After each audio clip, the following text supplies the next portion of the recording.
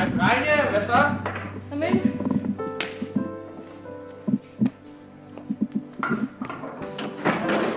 Hey dreng, prøv at se hvem der er kommet. Skal vi ikke lige give lille gåsesteg en stor lagersteg?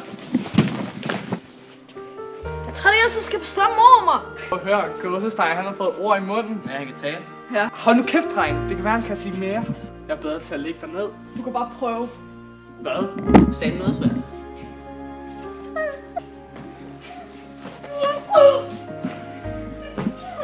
Lille svag, du er. Ad, hvad fanden er der sket med dit øje? Kæft for dig.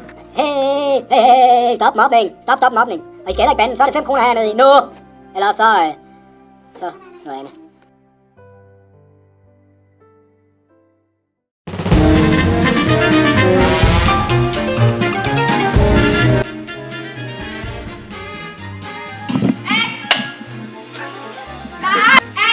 Du kan bare prøve.